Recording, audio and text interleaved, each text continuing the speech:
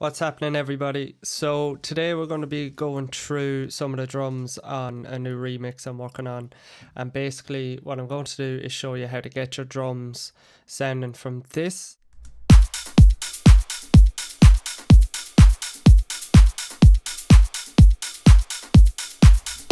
to this.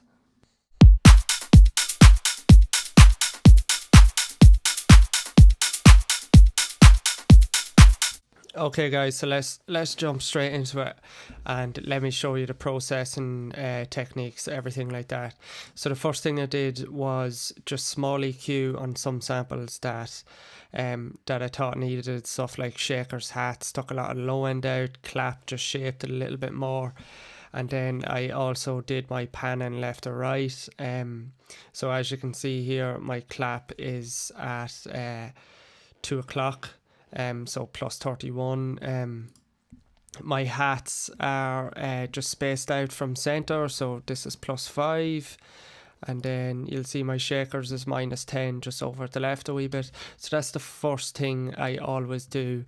And then the next thing is I route all my samples to a bus. So for example, um, on Logic, on any uh, any track here individually. You can click here. Usually it's set at stereo. Output by default but I send everything to a bus. So for me bus 8 I have it named as drum glue. So after that the first thing I always do is use a transient shaper. And for the transient shaper I use is called Smack Attack. It's by Waves and basically what this is is it shapes the transient of each sample.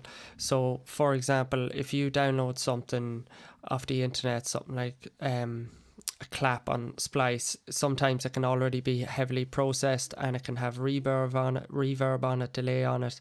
For example and what i want to do with the transient shaper is just remove any excess space that's already on the sample.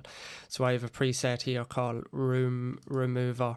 And basically what that does is just shorten the transient and i'll give you an example of that. So this is all the drums together with my uh, smack attack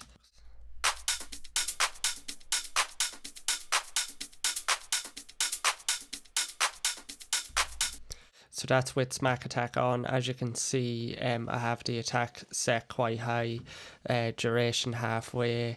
The duration of the attack is quite sharp in the beginning and then rolls off and then just 5% sustain. So this without Smack Attack.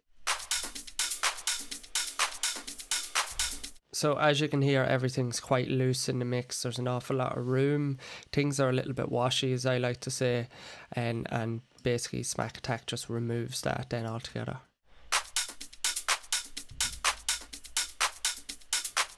So nice and short, drums nice and clear, a little bit more punch, a little bit crispier.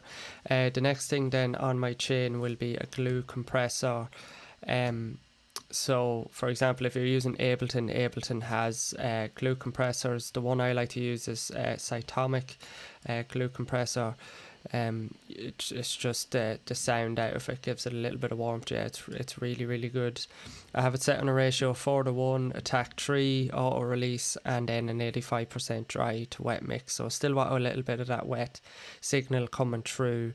And then um it should um i have my compression set at about about minus 4 dB reduction and same with my makeup is uh, plus plus 4 so this without it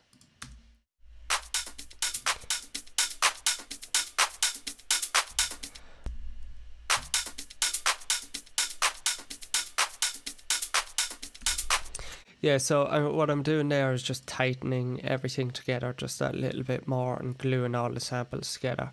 The next thing I always do is a little bit of saturation. Um, this is a trick I learned from Disclosure actually, and um, it's basically just a preset on FabFilter Saturn 2 subtle tape. Don't touch anything at all, and it just adds a nice bit of warmth to the top end.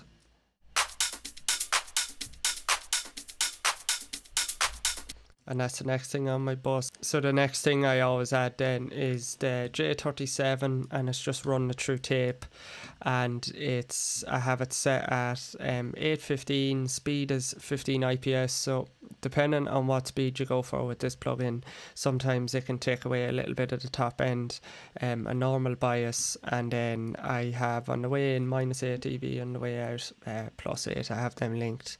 And basically this is just giving warmth to the top end again. It's very subtle, but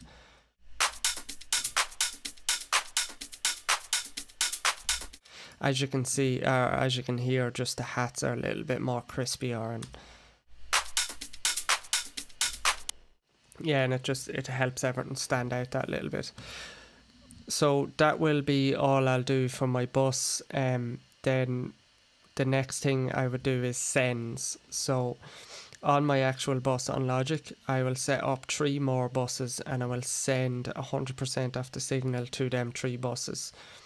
So what I have set up is I have parallel compression I have a room with re reverb on it, so a drum room, for example.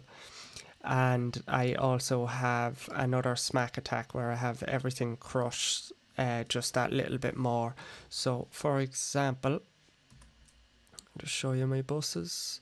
So, bus 9, which would be my, uh, this is my parallel compression. I have the low end taken out up to 500 hertz I have an analog compressor and I have everything crushed that it's distorting, not too much, just to a certain extent. And I use an analog compressor because analog compressor shape distortion.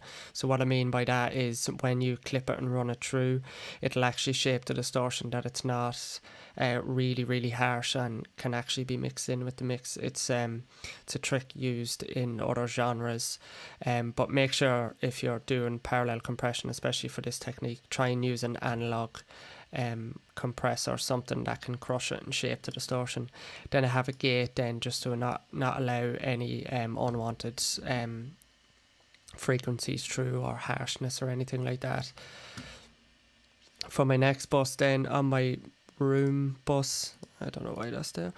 Um, I just have a simple EQ again, just taking out the low end up um up to about three four hundred anywhere up to one k should be okay for this. Uh, then I have a Valhalla vintage verb and I preset I use is a large wood room and then I um I adjust the mix and decay to taste. And uh, the wood room is is really nice. Now you can experiment in different ways in this but uh, a wood room for me is really really nice um, and then my third and final bus is bus 12 which is another smack attack and this is life is short for drums. So i'm completely crushing the transients on each drum and then adding them back into the mix just short and it just gives it a little bit um, more crisp at the end. So i'll go through um, before and after on each one of these buses. So this is uh, before bus 9, this is before the parallel compression.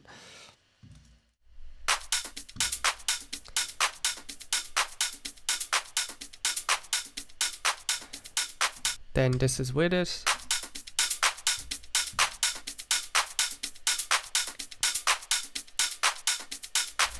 So I already have these mixed volume wise, but what I like to do is uh, bring this right down to zero and then mix it in to taste. And um, as you can hear, that just adds um, a nice crispiness to the top end of the drums.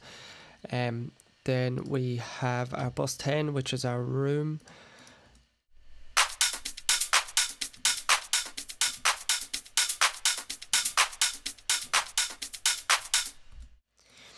Yeah, so it's what I'm doing is because I'm using um, Smack Attack and taking away um, all the space in the drums, I want to add my own space back into it, um, my own room. You can use uh, different reverbs, experiment with this, but the one I like is Valhalla, um, large wood room, and then mix the mix the mix on Valhalla's uh, vintage verb and the decay on it then to taste as well. You want something not not a big space, nice short space, something um something just just to add a little bit of space to each drum. And then for my last one, then um, I already have this and uh, mixed in. This is my life is short on Smack Attack, um, and this is basically just crushing the transients again and then mixing them back in.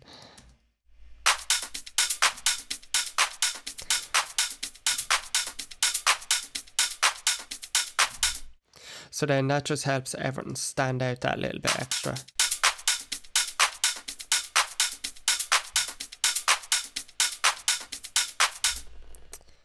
And then I'll play everything with the kick then, just so that you get an example of what, it, what it's like in a mix. And the bass, where is my bass?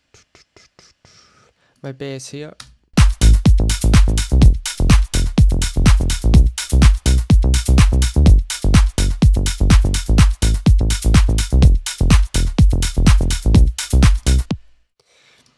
Yeah, so th- that's um, how I process my drums. Um, so your four main things is um, set a bus up with uh, that you you route all your individual samples to. Use a transient shaper to um, shape the transients and basically make them nice and short. Um, remove any excess um, atmosphere, excess noise in a sample, glue everything together, little bit of saturation, and then route your buses then. And then um, your parallel uh, parallel compression, anything like that, is everything's a little bit to taste as well. Um, this is the way I like to do it. There is other techniques, other compressors that you can use, but um, this is the way I do it. And yeah, that's everything. So I hope you guys enjoy. Don't forget to hit the like and subscribe button. And uh, yeah, we'll see you next time.